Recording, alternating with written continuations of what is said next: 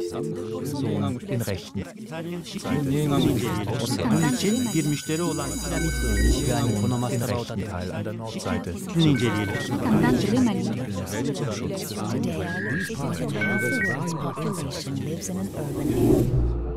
Moving forward.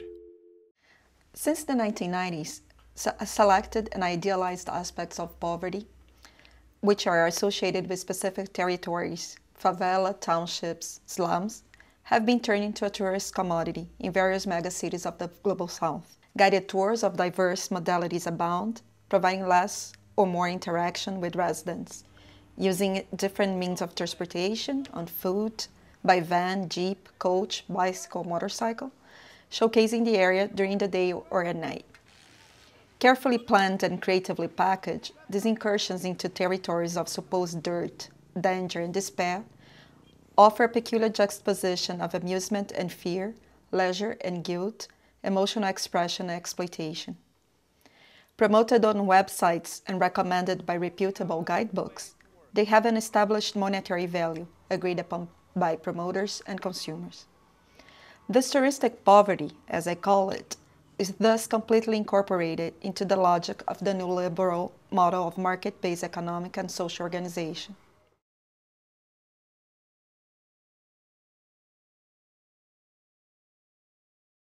In my country, the touristic poverty finds its main empirical and symbolic territory in the so called favelas. 20% of Rio de Janeiro's population is comprised by favela residents.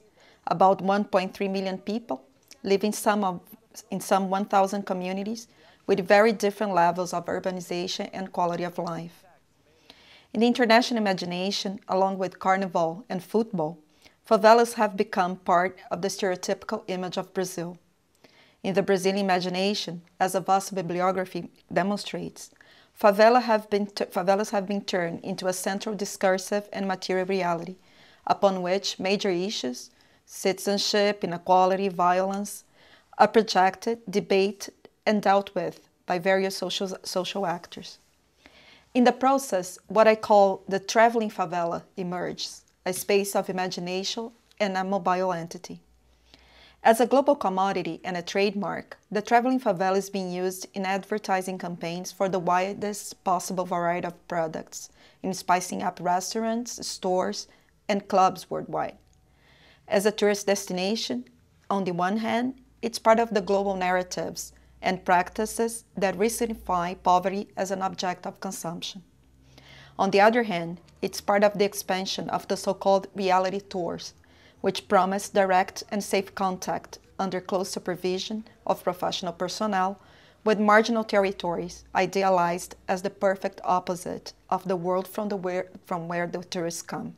For a few months, I've been working on an ongoing research project which aims to examine the roles played by mobile technologies on inventing tourist destinations. Today, I give special attention to a device which has been exported to different parts of the poor South, the cable car. My general purpose is to demonstrate how the teleférico, it's known in Rio, Rio de Janeiro, connects to transnational arrangements which situate poverty, violence, and segregation on a specific orders of worth, to use Boltanski and Thévenot's expression, within global tourism hierarchies.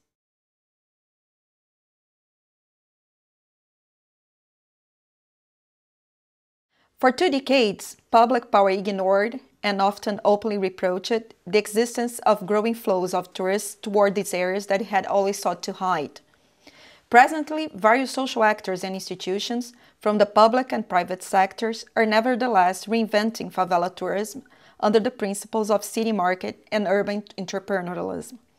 This is the case of the Complexo de Favelas do Alemão, a complex composed by 11 different favelas far from Copacabana Beach, the Sugarloaf, and other famous Rio de Janeiro attractions, which the cable car was central in putting into the tourist map.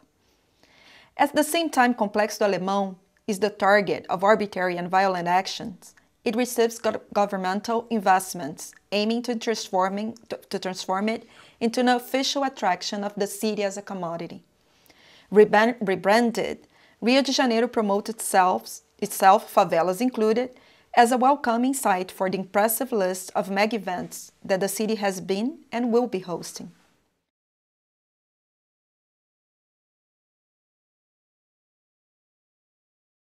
Within these increased investments in strategic planning towards branding Rio on an international scale, one plays a central role, the so-called pacificação. In theory, the pacification draws on the ideal of community policy, but in practice, the process works like this the BOPE, a special unity of the military police trained to kill, initially occupies the territory and clears the path for the police pacification unities, who will stand guard for an undetermined time.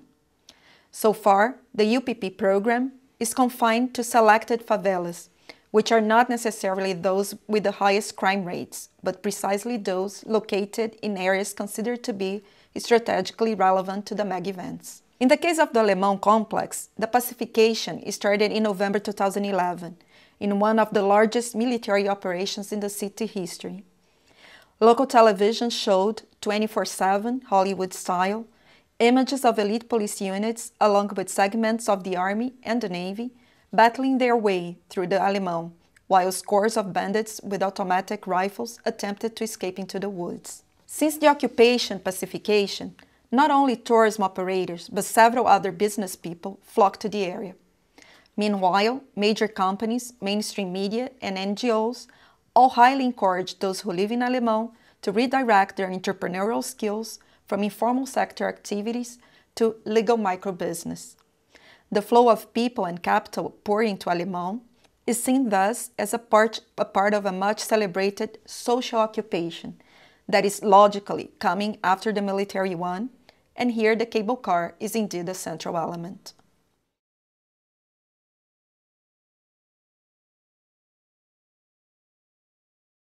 Investigating the Colombian case, sociologists Alvarez and Bocarejo argue that, and I quote, for politicians and, and planners, cable cars offer new ways of governing urban poverty at the same time that they bring the promise of marketing their third world cities.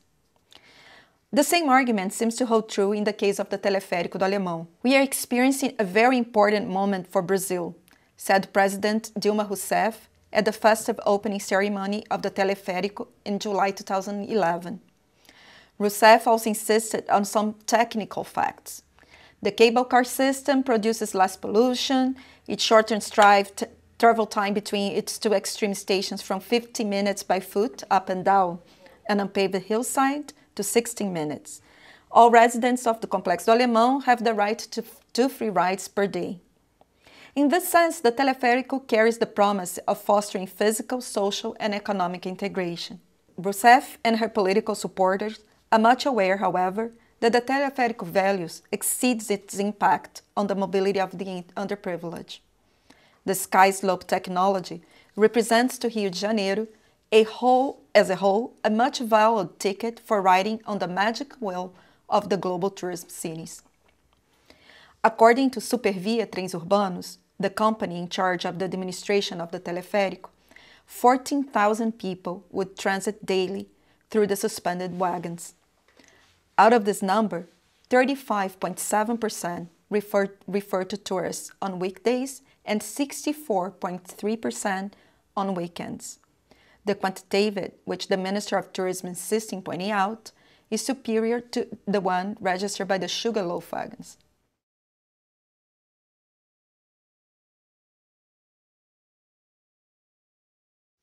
If green jeeps have become iconic to Rocinha tourism, inspiring comparisons between favela tourism and a safari among the poor, what to say of this filmic, almost idyllic landscape of a favela seen from far above the teleférico offer us?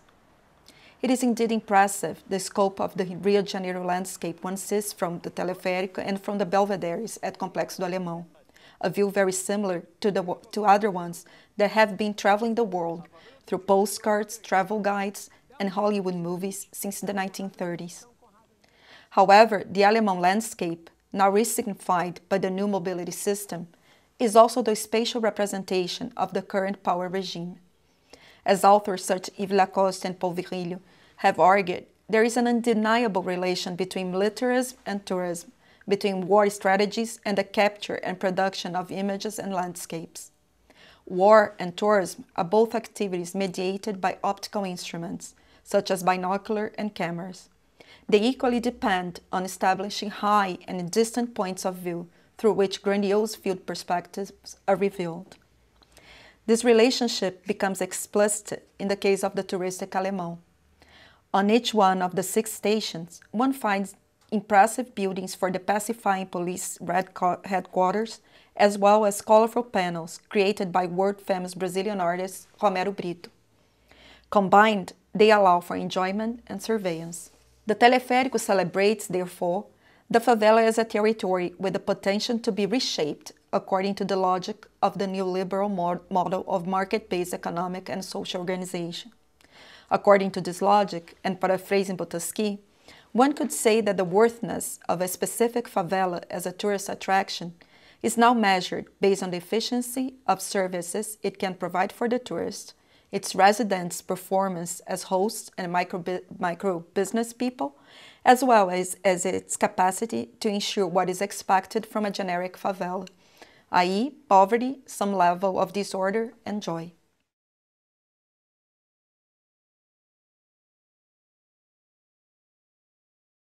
This doesn't mean that the installation of the cable car technology and the tourist investments around it go without tensions at Alemão and other favelas.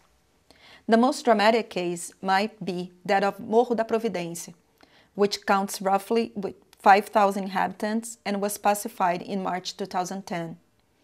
Considered Rio de Janeiro's oldest favela, it's situated on a steep hill not far from the old port.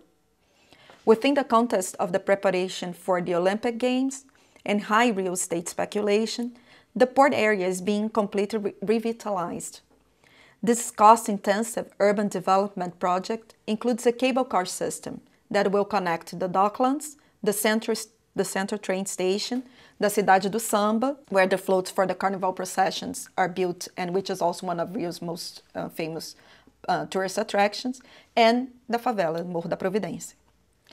A quick walk through Morro da Providência reveals the appalling state of uncertainty residents are living in. At the very top of the hill, some 70% of homes are marked for eviction. Critics accurately argued that the cable car is actually designed in such a way that it, it purposely sacrifices many houses to the bulldozer. Residents attempted to block the construction works, but were prevented from doing so by the UPP units. Although the city claims that investments will benefit residents, the only public meetings held were to warn residents of their fate. The mayor's office is indeed investing on the divide and conquer approach. Resid residents are confronted individually to sign up for relocation and no, and no community-wide negotiations are permitted. Moreover, authorities declare the relocations to be in the interest of residents because they live in risky areas where landslides might occur and because of the de-densification is required to improve quality of life. An important report by local engineers showed, nevertheless, that the risk factors announced by the city were inadequ inadequately studied and inaccurate. Residents also argued that the priority for the community should be basic sanitation, and in terms of mobility, a funicular tram would not only be much cheaper, but would also create more integration and not drain local business as, as a cable car would. Residents complain that the millions worth building project, project does not at all meet their most urgent needs education, jobs, healthcare.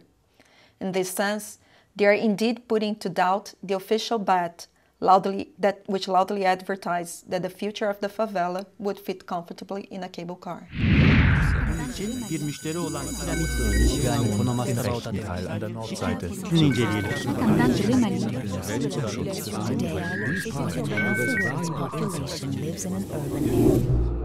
Moving forward.